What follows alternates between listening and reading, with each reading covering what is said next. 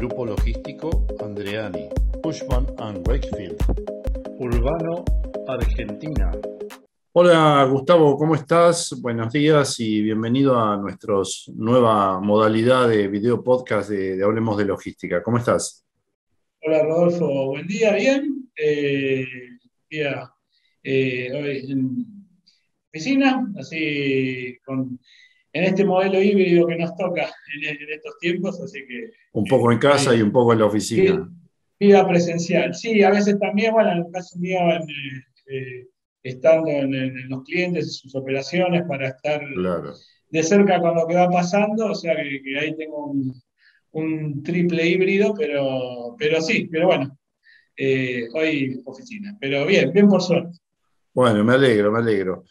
Bueno, un poco queríamos hablar con vos de, cómo están las tecnologías de la, información. Te habíamos entrevistado la última vez en septiembre del 2020, en estos tiempos tan raros de, pandemia, donde uno pierde un poco la, noción de, las fechas, ¿no? O sea que ya pasó, ya llevábamos en ese momento casi medio año de, pandemia y estamos también a más o menos un año y unos meses de esa fecha ¿Cómo, ¿Cómo, han ido las cosas? Recordábamos que en esa entrevista eh, vos estabas observando una especie de aceleración de, desarrollos que se estaban llevando adelante, como que había un, entusiasmo del desarrollo tecnológico por, por, avanzar con soluciones que estaban un poco dormidas. ¿Cómo, qué, pasó con eso? ¿Fue así? Ahora que, podemos ver el, el diario del lunes. Sí, eh, mira, yo eh, mirándolo ahora para atrás y mirando esa época, lo que diría es que como hubo una cierta, no sé si desesperación es el término, pero eh, mucho entusiasmo por anunciar nuevas tecnologías, nuevas soluciones. ¿no? pero bueno, esas soluciones a lo mejor no estaban tan maduras todavía. Pero bueno, un poco en la carrera por, la competencia en, los proveedores tecnológicos, eh, bueno, eh, seguramente hizo, y ante ciertas necesidades, que, hubo un cambio de paradigma importante, que, bueno, tanto a la logística afectó muchísimo. Eh, bueno, hubo anuncios, yo no diría un exceso de anuncios, pero anuncios que quizás de tecnologías que todavía faltaban eh, madurar en algunos casos, o bien, eh, como parte de la maduración, yo distingo también eh, cosas que operativamente le, faltan madurar y otras a nivel, ya si querés, más de, del retorno de inversión, del costo de, esos productos que, tengan por un tema de escala, por un tema de, bueno, de, ya procesos productivos, todavía le, falten eh, madurez para, para que esos productos tengan un costo que genere un retorno de inversión razonable, y que no sean eh, privativos de unas pocas empresas que, bueno, a lo mejor tienen un presupuesto, eh, estamos hablando de, multinacionales, de, un Amazon, de, ese tipo de, multinacionales que, bueno, sí pueden destinar un presupuesto a, a prospectar una tecnología. Eh, de determinada que sea incipiente, y bueno, y si no va bien, no pasa nada, eh, está en el presupuesto de investigación. Mm. Entonces ahí es donde digo que, viéndolo para atrás, eh, se aceleraron anuncios, pero después la madurez, se requiere un tiempo para que maduren las tecnologías, a nivel de, la propia tecnología en sí, del operativo, del uso también, ¿no? Eh, como, como los, temas de costo. Claro. ¿Y, cuáles dirías que, han sido cosas que se han desarrollado nuevas? ¿Qué cosas han aparecido nuevas en el mercado, si es que han aparecido? Mira, eh, lo que ves es justamente variantes de cosas que, vas, eh, que ya se venían anunciando, nuevos modelos, son en, la parte, digamos, más relacionada con, eh, con lo nuestro, eh, que es la logística interior, el almacenaje, bueno, nosotros como de OMS, el tema de robot en almacenes, eh, robots autónomos, el tema de de drones también.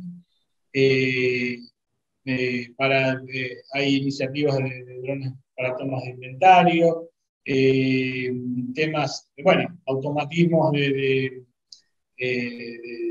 cintas transportadoras, bueno, hay obviamente mejor, con mejor tecnología, pero justamente eh, hay tecnologías también que, empiezan a contraponerse, a, de alguna manera competir unas con otras. Por ejemplo, un robot autónomo puede reemplazar una cinta transportadora.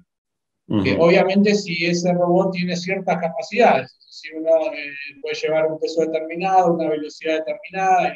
Entonces, eh, o un robot, eh, un dron para tomar inventario, en realidad eh, alguien podría decir, pero bueno, eh, lo, que hay que buscar es que no haya diferencias de inventario para minimizar el uso de cualquier tecnología de toma de inventario. ¿No? O ¿por qué tenemos que tener diferencia de inventario?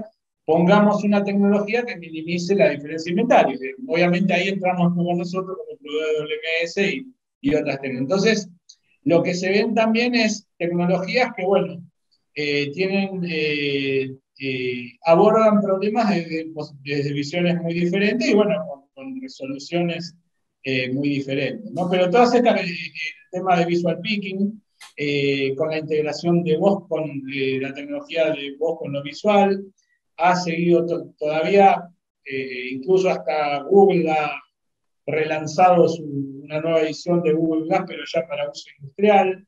Eh, entonces, eh, ves ciertas tecnologías que la verdad que yo diría en, el marco de los últimos meses, son todas tecnologías que se habían anunciado justamente en esa en la etapa que vos mencionabas, ¿no? Eh, algunas incluso antes, algunas quizás un poquito más, pero no, no diría que haya nada así, bueno, que, que, en los últimos meses rompa el juego. Y lo que estamos muy ávidos todos es que esas tecnologías sí ya maduren y, bueno, estén eh, disponibles con buena operatividad y un precio razonable. Eh, Ahora, Gustavo, ¿cómo, mientras hablas, no pienso cuando, por ejemplo, uno va al supermercado y está frente a la góndola de lácteos, ¿no? y tiene como 50 variedades de yogur y 20 variedades de, leches y de no sé cuántas de quesos y tiene que elegir uno, ¿no? Y, dice, ¿cuál será el bueno? ¿Cómo, ¿Cómo, se posiciona un operador logístico que además ya viene usando alguna tecnología para elegir una nueva y mejorar? ¿Cómo, cómo? Porque la diversidad, acabo de explicarlo, es muy grande, ¿no? Y, inclusive hay eh, contraposiciones entre unas tecnologías y otras. ¿Cómo, ¿Cuál sería lo que debe hacer un, operador o, un transportista que quiere mejorar su depósito o una empresa cualquiera que quiere mejorar su, operación para elegir la mejor tecnología?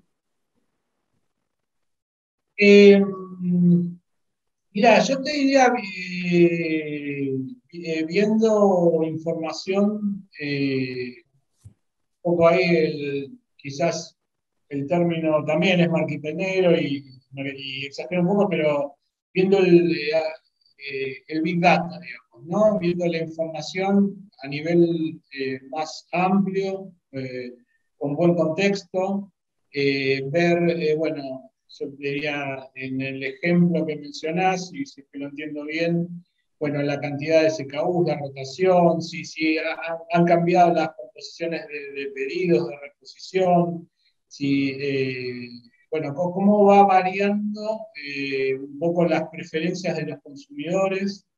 Eh, también además de, nuevos jugadores, eh, bueno, en países como Argentina hay ciertos contextos como el inflacionario que de repente, bueno, cambian las preferencias, dejan primeras marcas, aparece un... hay, hay eh, más cambios todavía, eh, con lo cual eh, esos cambios, identificarlos, incluso idealmente predecirlos, es teniendo buena información, pero, pero y, con un enfoque más integral, más amplio.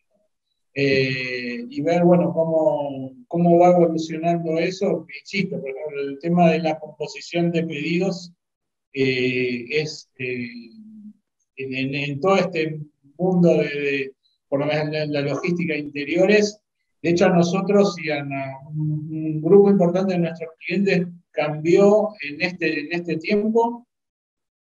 Eh, fue, eh, tuvo cambios muy drásticos.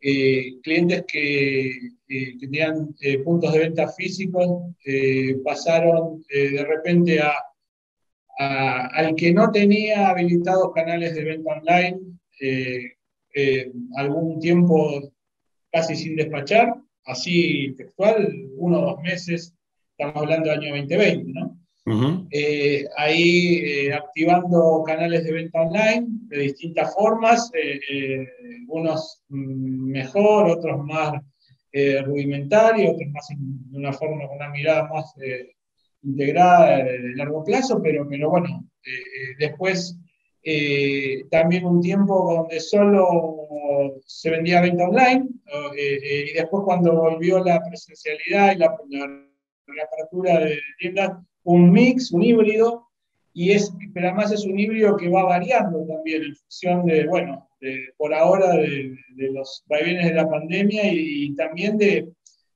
ciertos comportamientos de, los consumidores que, también, como nos pasa a cada uno de nosotros, todavía estamos eh, inestables. Hay un día que tenemos ganas de ir eh, al, al, mall, al, eh, al show. viene Omicron y no, nos quedamos en casa y compramos online. Entonces, la suma de, eso, el impacto en la logística, cómo va cambiando, ya no mes a mes, en una semana diría, es grande. Entonces, uno tiene que estar como responsable de la crítica preparado para escenarios muy variables. Mm. Eh, eh, así que bueno, esa es un poco la, la realidad de, bueno, de, estos tiempos. Claro. Todavía no, eh, todavía no, no, está del todo claro, digamos, cómo van a quedar las preferencias de los consumidores. bueno, son, son cosas que todavía se están, si bien hay más o menos ya ciertas perspectivas, y, ciertas pero se va achicando esa, esa variabilidad, pero, pero, pero todavía hay, hay mucho por delante, ¿no? Para ver, digamos, cómo organizar eh, una operación logística que sea flexible que responda rápido de acuerdo a, bueno, a las necesidades del negocio. Bueno, y, hablando de Signus específicamente, este, eh, ¿están ofreciendo algo nuevo? ¿Han evolucionado cosas que venían haciendo? ¿Cómo, cómo ves los negocios del lado de la compañía?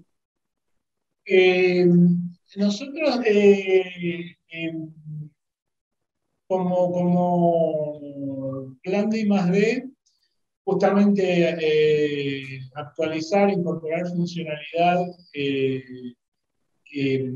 para eh, una mejor gestión omnicanal eh, de, un centro de distribución, de los centros de distribución, para nosotros eh, es clave. digamos, ahí la mirada de un centro de distribución tiene que poder ser omnicanal, más allá de que a veces hay decisiones donde, bueno, se gestiona un área o incluso mm. un, una operación aparte para la venta online, para el e-commerce, etc. Pero desde nuestra definición, el centro de distribución tiene que, no hay ningún impedimento tecnológico para que no sea omnicanal y para que funcione bien. Obviamente faltan, el, el WMS tiene que cumplir con eso y, esa es una misión eh, absolutamente clave estratégica de, de, Signos y toda la funcionalidad que vayamos pudiendo incorporar ajustes, mejoras operativas eh, eh, para una gestión omnicanal eficiente es, parte de, bueno, de, nuestro plan de I+.D., nuestra base con bueno, distintos tipos de, funcionales, funcionalidades eh, según bueno, las necesidades ya de cada, de cada operación y del negocio, ¿no? las composiciones de los pedidos, ahí, ahí venimos trabajando mucho y tenemos un plan eh, eh, por delante también. Eh, todo lo que es integración con, con, Marketplace también es otro, otro tema clave en el cual, bueno, hemos trabajado bastante porque nuestros clientes cada vez trabajan con diversos marketplaces, no con uno solo, y entonces poderse integrar correctamente y gestionar esos pedidos, procesarlos y gestionarlos, también requiere de mucha automatización, hay temas con las etiquetas que cada uno, cada marketplace tiene su estándar de etiqueta, su paquetito, etcétera. Entonces, y hay, y son eh, muchos pedidos chicos, a diferencia de en la época de las tiendas físicas donde eran pedidos de reposición muy grandes, bueno, ahora hay eh, una cantidad muy grande de pedidos chiquitos, cada vez más creciendo. Entonces, ahí es donde tenemos mucho valor para, para aportar. Incluso ir conectarse directamente al marketplace, tomar la etiqueta que te deja el marketplace y después en el momento que se está armando el, pedido, la cajita, la caja de despacho, eh, sacarla automáticamente para el colocado. Bueno, todas esas cosas eh, seguimos, eh, bueno, trabajando y, seguimos trabajando. Y después, algunas herramientas, hablaba un poco de Big Data, un poco por otro tema. Bueno, eh, estamos ahí también, bueno, por, lanzar eh, una herramienta que es eh, complementaria de Signus para abastecer a sistemas de Business Intelligence, información, digamos, cubos de información dentro de las empresas de una forma más ordenada, más fácil y sin afectar un poco la, tecnología propia del WMS. Eso también justamente por la necesidad de analizar, de, realizar análisis cada vez más, más amplios, más complejos. Eh, dentro de todo lo que es el WMS, decimos, hay mucha información del día a día que se va acumulando, entonces en cuanto a, productividades, a tiempos, etcétera, a, composición de, de, esos pedidos y poder abastecer a un, un sistema de Business Intelligence eh, obviamente enriquece mucho la, la, información para, para, nuestros clientes, con lo cual estamos también a punto de, de lanzar una herramienta para eso, para, para agilizar, y facilitar que, que, la información no se quede solo en signos, sino que, que, fluya dentro de la empresa también. Claro, claro. Y después la integración de tecnologías. Eso para nosotros diría que es algo natural. Eh, de hecho, justamente vemos, somos los primeros consumidores de, los anuncios tecnológicos de los proveedores, de toda tecnología nueva que, aparece, que, bueno, que se anuncia para, lo que es la logística. Eh, nosotros obviamente interesados porque también la misión es eh, poder integrarlas desde el punto de vista del software en la medida que den valor. Entonces, eso desde ya, pero ahí te diría, en principio no vemos eh, en, estos últimos meses nada que ya no eh, hubiéramos visto hace un año más o menos, no, hay nada disruptivo nuevo. Eh, sí lo que estamos esperando, de hecho con algunas de estas tecnologías que comentamos, es que ya estén un poquito más maduras para bueno, poder hacer las primeras implementaciones. Claro, claro, bien. Bueno, Gustavo, creo que hicimos un repaso de lo que pasa en general en la tecnología y lo que pasa en, en Signus. No sé si querés agregar algo más antes de despedirnos. Eh, en principio creo que, sí, comparto que, fue un, buen repaso y, bueno, disponible para, para volver a charlar eh, cuando lo veas oportuno. Bueno, muchas gracias Gustavo, será hasta la próxima. Bueno, eh, buen día, buen año. Gracias. Grupo Logístico Andreani, Cushman and Wakefield, Urbano, Argentina.